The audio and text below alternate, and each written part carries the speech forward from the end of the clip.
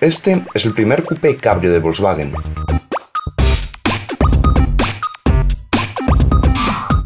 Se llama EOS, aunque también se le puede llamar Golf Cabrio.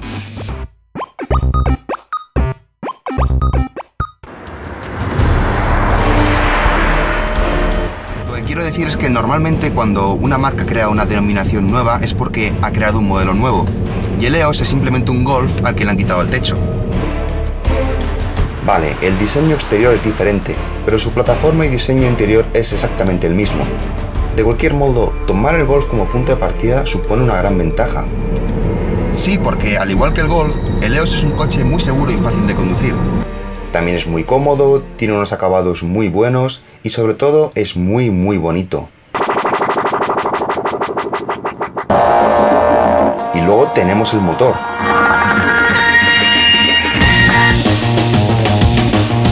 2 litros de inyección directa atmosférico que genera 150 caballos.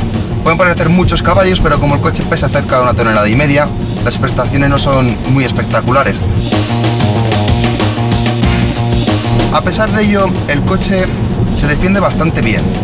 Vamos a ver un ejemplo de ello. Lo paramos hasta cero. Ponemos la primera. Y allá vamos.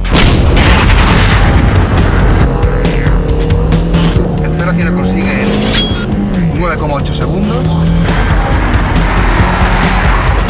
Los 1000 metros lo consigue en 30 segundos. Su velocidad máxima son 210 km por hora. Es un buen motor, no muy potente, pero que le echa muchas ganas. Pero vayamos a lo realmente interesante del coche, su techo. Volkswagen llama el techo CSC y, a diferencia del resto de los coupé cabrio que se venden en el mercado, no está hecho ni de dos ni de tres piezas, está hecho de cinco piezas.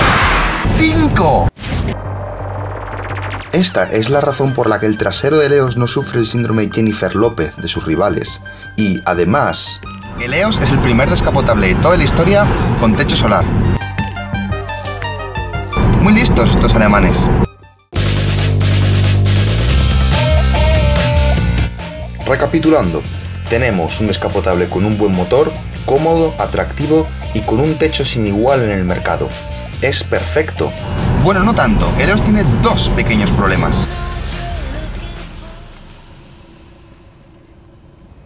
El primero de ellos es el espacio atrás. Perfecto si mides menos de un metro ochenta, pero si mides más de eso, vas a tener un problema con tu cabeza. Au. ¿Veis lo que quiero decir? Y después tenemos el maletero.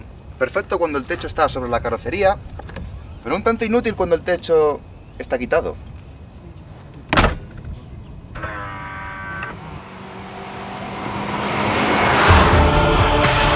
Sin embargo, estos problemas son comunes al resto de sus competidores, y en todo lo demás Eleos es mucho mejor que ellos. Entonces uno se pregunta, ¿por qué se ven tan pocos en la calle?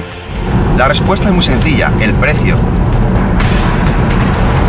El equipamiento es muy completo, eso es verdad, pero por ejemplo, esta versión cuesta 31.000 euros, lo que quiere decir que cuesta 6.000 euros más que el Astra Twin Top equivalente, y eso es mucho dinero.